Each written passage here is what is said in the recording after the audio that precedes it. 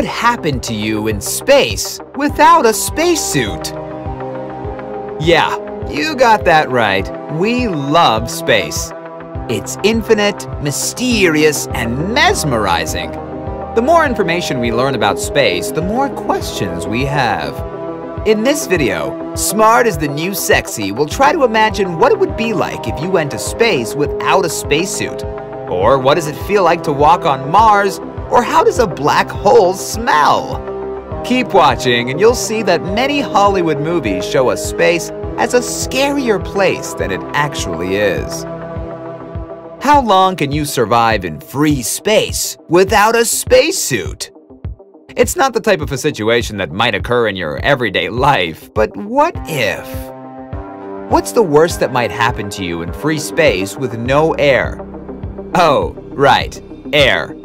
Okay, let's make it 60 seconds in free space.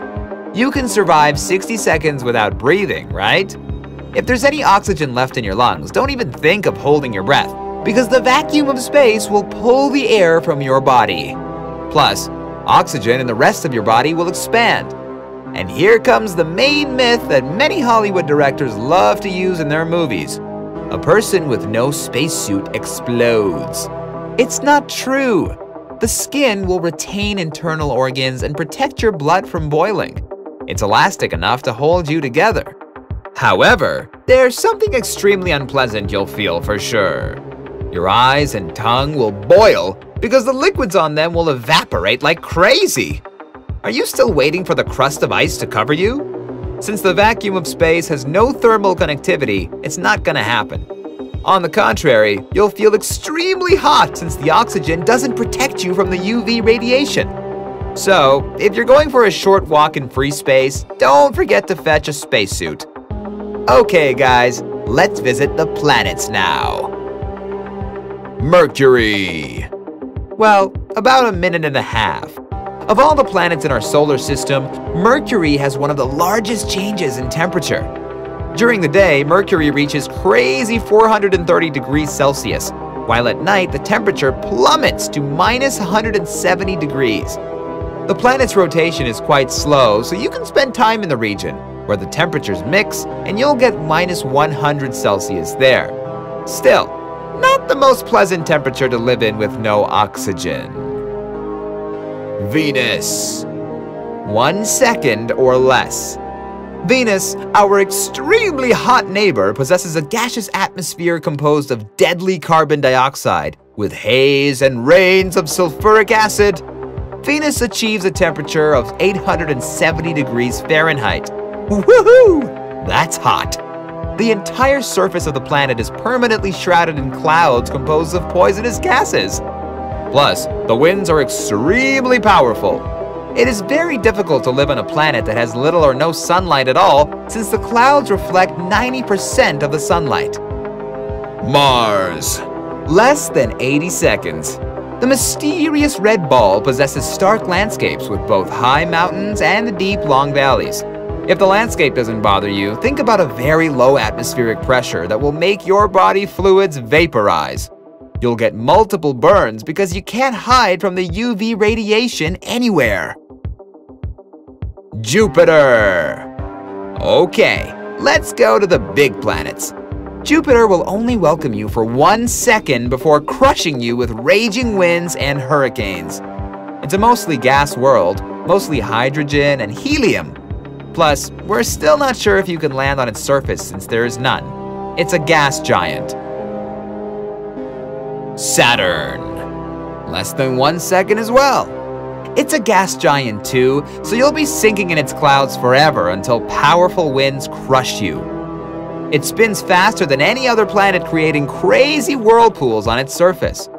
You won't even have time to blink before turning into space dust.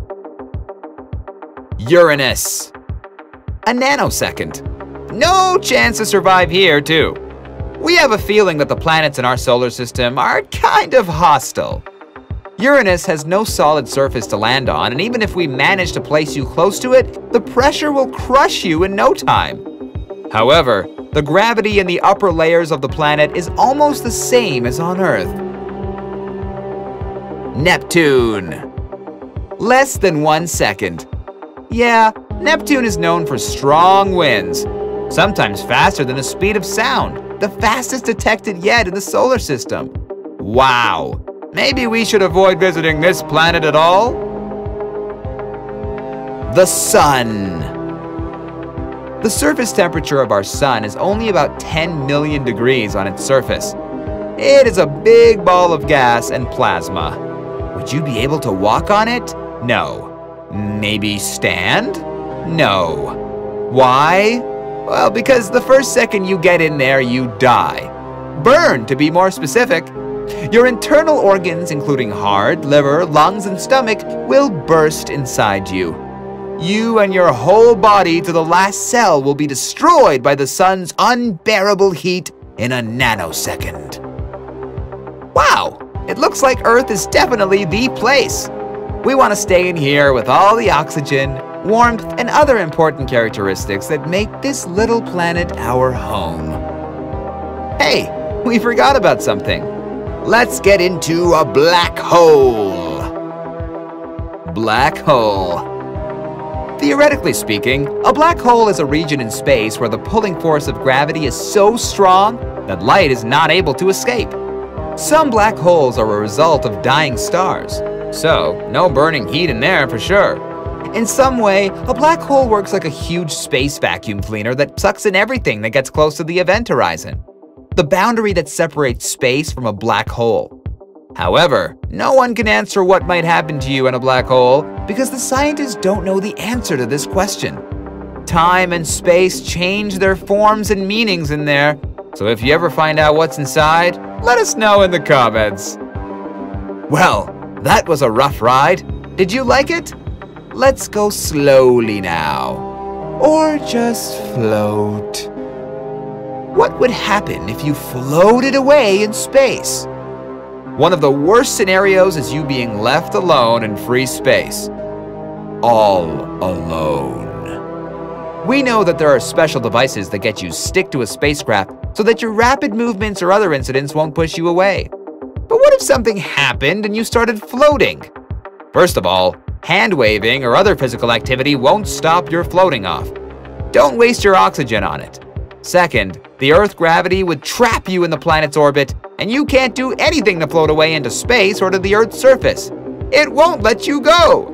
You'll be damned to wait until your oxygen runs out and you die.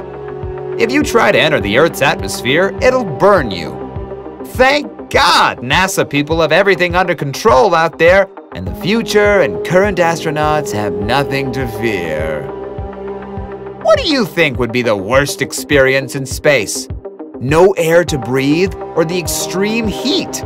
No surface to land or getting into a black hole?